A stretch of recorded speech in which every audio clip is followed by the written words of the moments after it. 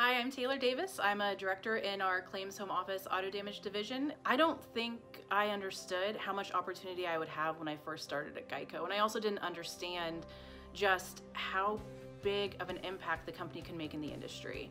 So when you join Geico, you're definitely joining a winning team. And then when it comes to a career in auto damage, it's probably the most fun you'll ever have.